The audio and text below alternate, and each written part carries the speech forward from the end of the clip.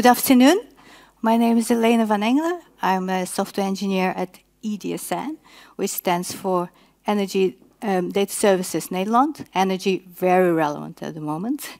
Um, actually, I only worked at Dutch companies since I've moved to the Netherlands, coincidentally. So I started as a Java developer at KPN, and then I've realized um, at bol.com that Kotlin's so much better. I'm sure I'm not offending anybody. This is Kotlin Dev Day. and then um, at PostNL, I I saw the power of serverless clouds. And actually, I think Kotlin is perfect for that. So that's why today I'm going to be talking about Kotlin on Serverless Cloud, AWS Lambda Unlimited. So, what is serverless cloud? Uh, how many of you have actually used the serverless cloud on production? Please raise your hand. I think 50%. And of those that use the serverless cloud, how many of you use the JVM language on there? Okay, so it will be a little bit familiar, the problems I'll be talking about. Um, okay, so I'm not going to go into much detail about the Serverless Cloud because this is not talk about that. So uh, basically, Serverless Cloud means that you, um, you uh, it's resources, resources on a use basis. So if you have um, traffic to your application, you have resources that will handle your traffic. If there's no traffic, you will scale down to zero, which is nice saving energy, not, not, not spilling any resources. Um, and also, you don't have any infrastructure management. Well, what I mean by no infrastructure management, you don't have to patch your servers or upgrade your operating systems and so forth. You do need to configure your infrastructure, what you're going to use, actually. Okay, so um, today I was going to talk about the AWS Lambda, which is the serverless compute cloud. Um, a very good example of serverless. Um, this is actually a function as a service um, and what, uh, how does that actually look, um, function as a service? If I have some business logic, my application is running, I'm selling some products, um, and I have a Black Friday, so requests are coming in, everyone wants to buy some nice um, sale. Um, so then my, um, my function will be scaling up. As soon as the sales gone down, everyone's run out of money, and it, or it's nighttime or something. So there's no requests. I'm going to scale down to zero. And then I decided to sell a PlayStation 6. Um, so everyone's gone crazy. They all want to buy it. So then again, I will scale up to handle all the requests in parallel. So what happens actually when I scale up, uh, my functions will have to start up. So with serverless, uh, uh that's the difference basically when you uh, think about writing a code for serverless as opposed to container-based, you also need to think about your startup time. And that's the part that we're going to be also talking about in today. so first we're going to create an example application. So we want to compare and what we want to compare is actually uh, four different functions on different Kotlin runtimes and different AWS Lambda alloc memory allocation. Memory allocation is important when you're doing um, multi-threading or concurrency. Oh, yeah, and basically it's, it's, it's important anyway. So, um, okay, so um, there's no point in comparing hello world, so we're not going to create that. So there's no, yeah. It's not going to give us any good results. So what we're going to do is we're going to create an application that has I.O. and concurrency. And what we're going to create is actually an application that does a parallel scan of a DynamoDB NoSQL database. I will talk a little bit more about the parallel scan once I get to the code. Uh, so for now, uh, I'm not going to go into that, but basically it's I.O. and uh, concurrency. So which Kotlin runtimes are we going to try? So, now obviously Kotlin on JVM, that's an obvious choice. It's really easy to create. Um, and then we're going to uh, tune our Kotlin JVM to use C1 compiler optimization. This is an optimization for cold start or startup. I will talk about that a bit later. And then we're going to go native, but we're going to go native on GraalVM. So the reason we're going to choose for GraalVM instead of the LLVM based is because uh, we have a lot of libraries that we want to use and we want to develop fast. So AWS SDK latest versions support this. Um, you also have some libraries and also frameworks that also support this, like Spring Native, Micronaut, Quarkus. So we're going to go for that. And we're going to do Kotlin on JS. So what we're going to do is we're going to compare the startup time and also the execution time. This is also important um, if you want overall performance of your application. So we're going to create Lambda in Kotlin. We're going to build it with Gradle using Kotlin DSL. And we're going to uh, create infrastructure as code also in Kotlin using a cloud development kit. So everything's Kotlin. I love that. Um, and the parallel scan. So what, what is actually the parallel scan? Uh, so basically, uh, what we're going to do is we're going to scan the database. It's not always the best practice, but there are some use cases where you need that. Um, so basically, you want to read all the data in your table. So in order to do it fast and not to block any other applications from reading your data, you want to do a parallel scan with a page size. So basically what we're going to do, we separate our table or data basically into segments, and every segment is going to be read by, in parallel, and we're going to use coroutines for that. So this is what the code looks like. I hope you can read it, because last time I couldn't read the code from uh, the previous talk because of the, uh, yeah, where it was. So basically, uh, what we're doing is on line 20, we're going to look at how many uh, segments we want to separate in, and then we're going to create coroutines on line 21, and then we're going to scan, where on line 24, we actually say which segment we're scanning. That's we're, we're using uh, AWS SDK, which needs uh, that information in order to actually separate the data. And then total segments, how many in total, and the limit of the page size. And at the bottom on line 32, we're going to get the results of all of the parallel scans. So pretty simple. Um, and then what we need to do, in order to call our business logic, we need to wire it up to a handler. So yeah, basically we're just going to call our business logic from the handler. Um, and after that, we need to package and deploy our application and configure it. So let's have a look at that. First, we're going to do the Java, uh, the Kotlin on the JVM, sorry. Um, so in Gradle, uh, we're going to specify that we are using the latest, latest version of Kotlin on JVM, specifying some SDK libraries, AWS SDK, and we're going to package it into a zip file. Um, and after that, what we need to do is configure our, our function, um, and we're going to do that using Kotlin. So what we're saying here is um, on line 18, we're saying this is our handler, basically the, the, location of our handler, and then we're saying we're going to run on JVM. Um, AWS Lambda currently provides a latest version as in Java 11, but because we're using Kotlin, we can just run on the latest version. We're also going to run on ARM64 architecture. So now we're going to, we can deploy our Lambda. All we need to do is just do CDK deploy in our favorite CI/CD pipeline or from command line, not recommended. And then uh, we can see in our console that we deployed on JVM on ARM64. So one Lambda is deployed. Next. Um, so now we want to say, okay, well, uh, actually, if we have spiky load, um, maybe it's better to um, improve our startup time.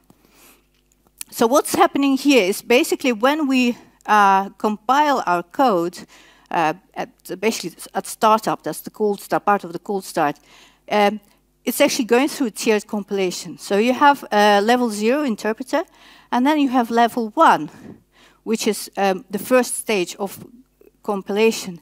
And this is where we want to stop. And that's because um, Level 2 and Level 3 adds some profiling, which is a bit of an overhead. And level uh, and level 4, it's, a, it's basically a C2 compiler, which is server-side compiler. You only see the benefits of that if you run with stable load for a long period of time. Usually the default starts from 10,000 calls. So you don't have any cold start, you're running constantly, and that's the time where you will see the benefits of that. So for our spiky load, we're going to say, okay, ooh, okay, we don't need that, so we're going to use C1 compiler and see how we perform with that. So it's only one setting in our infrastructure, which we already created for the first version, um, and it will reduce our startup time. So this is the uh, actual setting that we need to do. All we need to do is just say that we uh, want to stop at level 1, and that's on line 24. So let's deploy again, same thing, different lambda name. And then we can see in the console that our uh, parameter is, or our environment variable is actually visible in the console. If we execute, we will also see it in the logs, that it uh, the setting has been picked up. Okay, so now let's go native. What do we need to do to our code to actually deploy this on GraalVM? Well, first, let's have a look what, that, what does actually GraalVM do. It's ahead of time co compilation instead of just-in-time compilation, which means that we only include reachable code. This is great for security. We don't include all the stuff we don't need. And, but uh, it does have a side effect, and that's basically reflection. So if you're using any libraries that don't out-of-the-box support GraalVM, uh, some reflection parts which you actually use in your code um, uh, won't work without some help. So what we need to do is provide some metadata. You can generate metadata with a tracing agent. You can also reuse metadata. There's some open source um, GitHub uh, repositories with that. Or you can actually create, for the libraries that you often use, you can create your own metadata, generate it, and then share it. Or you can use a supporting framework. And there are now three supporting frameworks production ready, Micronaut, Quarkus, and Spring Native. And they provide some annotations so instead of metadata, you can do that. For our example, we're not going to do that because otherwise we will pollute comparison.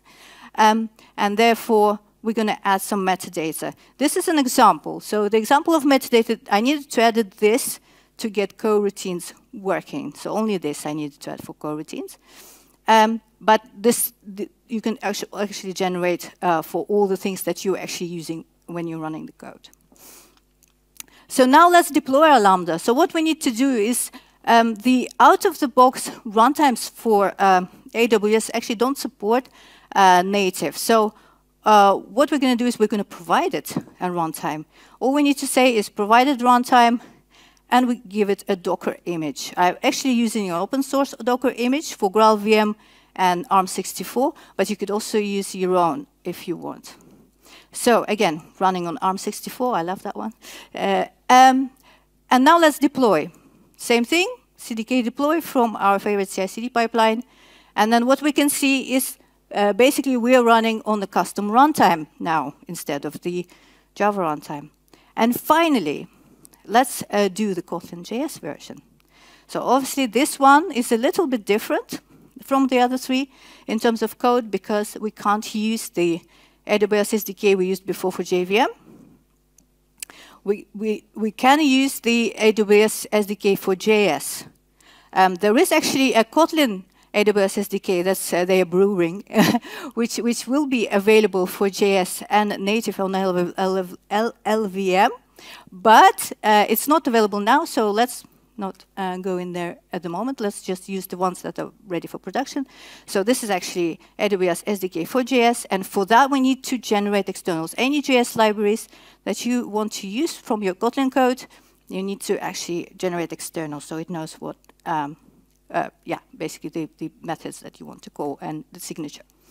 Um, so this is what we needed to add for um, the DynamoDB uh, SDK. Basically, just um, the definition of the function that I'm going to call. So let's deploy this and build this. First, the building is different because we want to actually say that it's not JVM but JS. Again, latest version. And the libraries are uh, JS, the uh, AWS SDK libraries are JS instead of um, the JVM version. And when we deploy on our uh, infrastructure as code. Again, very, very similar actually, but almost the same as the JVM one, only we're using the Node.js uh, runtime instead. So let's deploy again. Not going to go into it's the same actually, and we can see in the console that we're now running on Node.js. So which one has the fastest cold start? Let's wake you up a little bit. So those that think it's going to be Kotlin on JVM, please raise your hand. Oh dear. uh, okay, so Kotlin JVM C1. Who thinks that's the fastest cold start? Nope, no takers. Kotlin native GraalVM. Yeah, that's better. And who thinks JS will be the winner? Oh, there's still some takers. All right, well, let's have a look at the results. Actually, it's a GraalVM native that's the winner. Uh, you can see the JVM uh, actually um, is the slowest, and then the C1 improves 40%. But you only need to be as fast as, as you need to be. So the performance is dependent on, you don't have to always improve it unless you're actually worried about your P95 and P99. So um, let's have a look at the JS and the native together to see, is there a big difference? Actually, there is. Because if you look at the milliseconds, for example, on the memory size 2000 MB, you can see that there's 700 difference in milliseconds. That's quite a lot. So um, that means that actually uh, Kotlin Native is, is a big winner on the cold start. So now I'm going to make it a bit more difficult. Which one has the slowest average execution? So after the cold start, we're warm, we're executing. Which one do you think is the slowest? Is it Kotlin JVM? Oh, really? okay. Okay, uh, JVM C1? JS? Yeah. And Kotlin Native? Okay. So the results are in, and actually Kotlin Native here is also a complete winner. Um, it depends also on the memory size. What happens is with memory size that you're not only increasing memory, but you're also increasing CPU power. And from 3000 MB, you actually add a CPU. So from two to three. So when you're doing multi-threading, it can make a difference in your application. We actually done some tests on production at PostNL with a lot of a lot of events, and uh, we found that actually the JS and uh, JVM C1 will start losing to JVM if you run in a constant uh, load. So what should we use actually? Kotlin JVM, well, actually it's really easy and quick to develop. So if you're not worried about your P95 and you're running asynchronous uh, frequent load, just use that. It's, it's, you know, everyone's going about cold start, but cold start is not really relevant if you look at the whole uh, execution time, because if you execute for a long time, it will start um, catching up and winning from other um, JS, for example. Um, JVM C1, uh, well, actually, if you always have cold starts, for example, cron jobs, or you have frequent cold starts because of you, you don't have um, a lot of traffic, this is a good option. So like, let, us say I have a cron job that runs once an hour, this is brilliant. Um, but if you're worried about your P95, P99, you have users waiting for response, go native. This is really going to make a difference in your performance. Um, it's only a bit more work. You have to get used to the way to work with it. Um, and also the advantage is you can just go from JVM and upgrade it and deploy it to uh, GraalVM.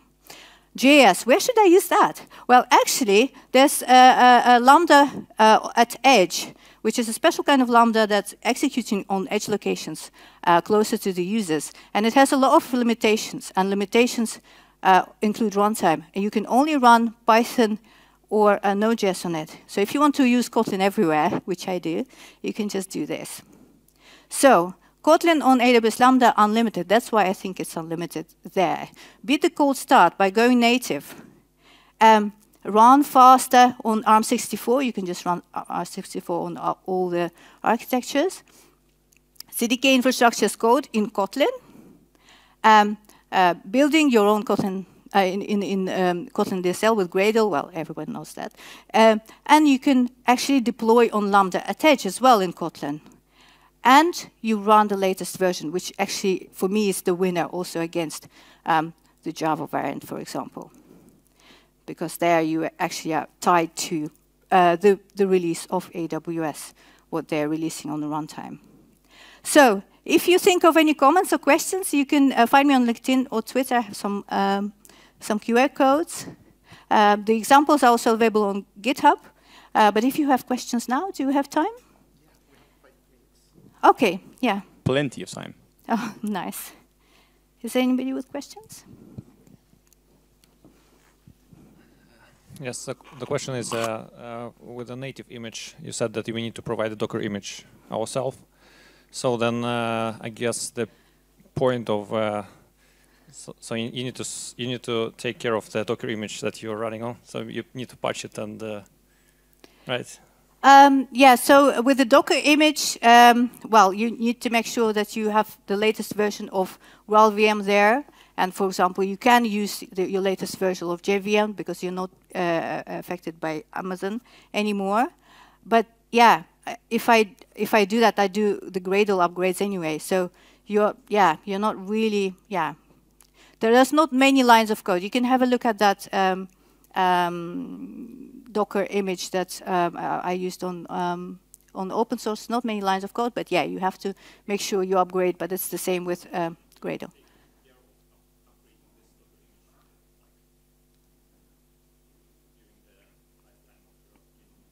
Yeah, it's the same, basically the same as if you upgrade your Kotlin to the next version or your JVM to the next version. I'm, in my uh, uh, variant, I'm using uh, uh, Java 17 instead of 11 because obviously I'm not restricted by AWS. So yeah, you do need to maintain that Docker image. It's not very many lines of the code. I think it's about 10 or something. Yeah. Any more questions?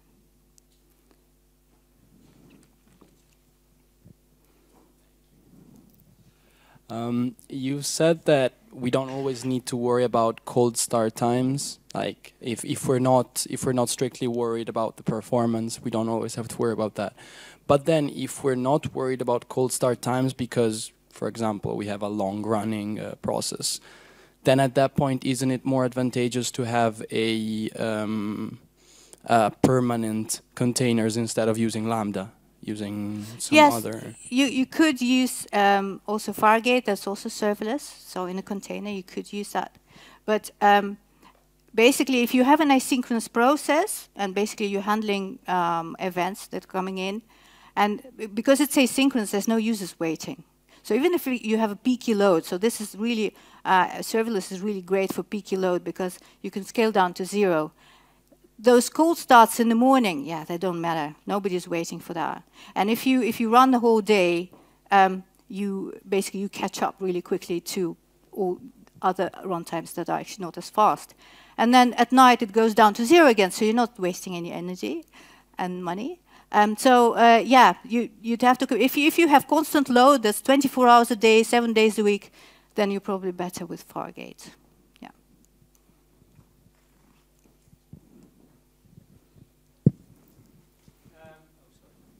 Thank you. Um, I've, I said, I haven't experienced with GraalVM yet. I'm gonna do it very soon. I've heard that there is, it's not free, right? So what is uh, the additional cost involved with it? Uh, well, I'm using using the free version. You have two versions. The um, yeah, the, the, the the enterprise version where you have to pay for it, um, and the free version. I have never used the enterprise version.